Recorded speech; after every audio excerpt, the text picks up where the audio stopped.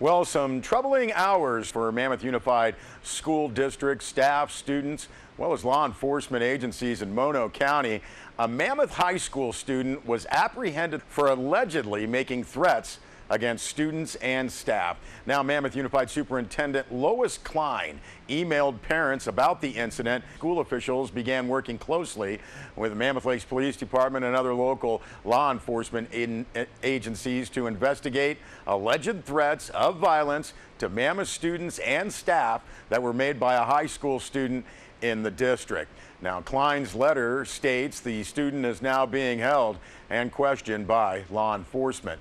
Now, Klein wrote that nothing is more important than the safety and well-being of our students and staff, and the decision that I made to close schools was guided by this profound obligation. Klein said there are many details she cannot discuss so as not to compromise the investigation. Klein did say the student was overheard on several occasions to make threats of violence to students and staff at school while the district engaged law enforcement to investigate. Klein said she was informed that law enforcement intended to apprehend the student before school began and she made the decision to close school and call a red day. Now, Mammoth Lakes Police Chief Al Davis said he suggested that there was a power outage and that way they could keep the students, well, in the dark. Klein said law enforcement felt they needed the element of surprise in order to be certain they could secure the student and evidence that will help in their continued investigation. Now, Chief Al Davis in that email said working closely with the Mono County District Attorney's Office, Mammoth Lakes Police Department, obtained proper search and arrest warrants. Now, with those in place, a plan was developed to ensure first the safety of the students, next the officers, and finally the suspect. Chief Davis said that while to many there may have been an inconvenience, he said we feel the safety of our students far exceeds any inconvenience. Now, the full text from Superintendent Klein and Chief Davis have been posted on our website, sierrawave.net.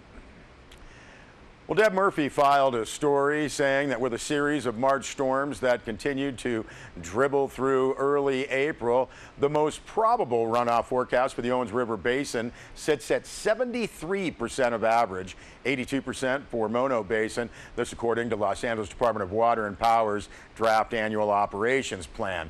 Now, those percentages translate to 219,000 acre feet of runoff through the April-September irrigation season for the Owens Basin, 80 82,700 acre feet for Mono. Now, the numbers of interest at the Inyo County Board of Supervisors meeting that happened on Tuesday will be how much LADWP plans on pumping. The range proposed by the department starts at 77,990 and goes to 96,230 acre feet.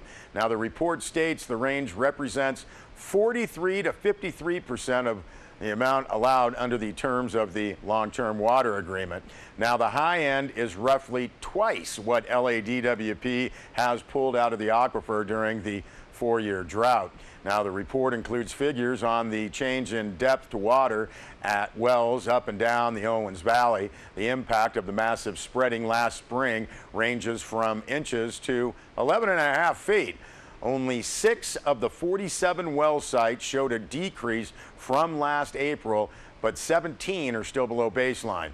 Now, Inyo County's water department is still reviewing the, the, report, but Director Bob Harrington stated in an email to Deb Murphy the low end of the proposed pumping plan is reasonable, but the department will have problems at the high end.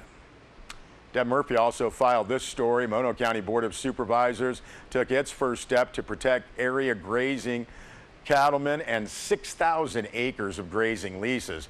Now, during a special session last Thursday, Mono County Board signed off on a letter to Los Angeles Mayor Eric Garcetti outlining the impact of Los Angeles Department of Water and Power's intent to pull water from grazing leases. Now, the meeting started with a closed session initiation of litigation KSRW's Deb Murphy confirmed both agenda items were related.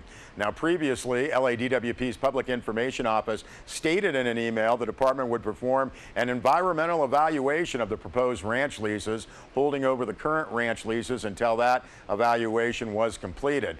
Now, that may take some of the pressure off the six ranching operations this year, but provides no assurance for the future. Now, one glaring question after last week's discussion what about the California Environmental Quality Act, CEQA, the review of potential damage to lands irrigated for the last 100 to 150 years? A layman's review of CEQA regulations didn't answer the question definitively. Now, the Mono Board's six-page letter acknowledges LADWP's intent to provide water until an assessment is completed, but states the ranchers need more certainty regarding what to expect on May 1st, the start of Mono's irrigation season.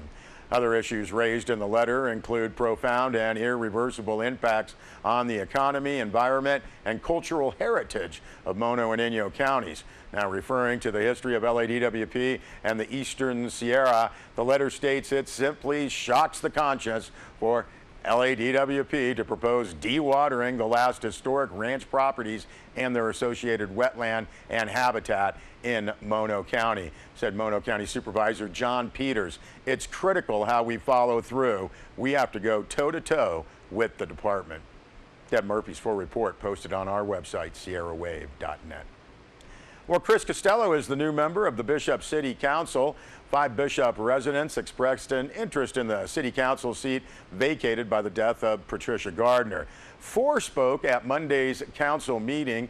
The fifth, Stephen Muchovej, was out of town for job training, but is well known to the Bishop City Council.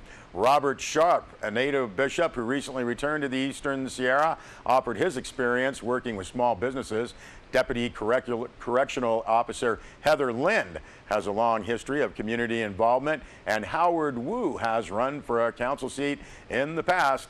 However, Chris Costello, pastor of the Four Foursquare Church and 30-year resident, as well as Muchovej, formerly with the Owens Valley Radio Observatory and Caltech CARMA Project, were both supported by members of the audience. Now, Mayor Karen Schwartz made the motion to appoint Muchovej, but the motion wasn't seconded. Councilmember Joe Pecsi moved to appoint Costello. Jim Ellis seconded the motion, and the vote was unanimous. Costello was sworn in following the meeting. Well, Deb Murphy also filed this report noting Southern Inyo Healthcare District's Board of Directors held one of what will be a long series of meetings to begin dealing with the failure of Measure J, the parcel tax designed to pay off bankruptcy claims. Now, the measure fell short of the required 66% plus one requirement at the April 10th special election. Now, with a court hearing on the district's bankruptcy plan based on voter approval of the measure at the end of May, Board member Dick Fedchenko told those in attendance, we can't save the hospital as we know it. Our task now is to figure out how to handle the settlement. Board members Fedchenko and Jackie Hickman have met with Ridgecrest Regional Hospital officials. Ridgecrest and Northern Inyo Hospital have expressed an interest, but they can't make us whole, Hickman said. The board's and community's frustration was evident. What's plan B? asked board member Karma Roper. We don't know. Hickman was more direct, saying people spent more money driving to workshops and campaigning against Measure J than they would have paid if J had passed. She said of the $215 per parcel measure. And again, Deb's full story on sierrawave.net. We'll be back with more news.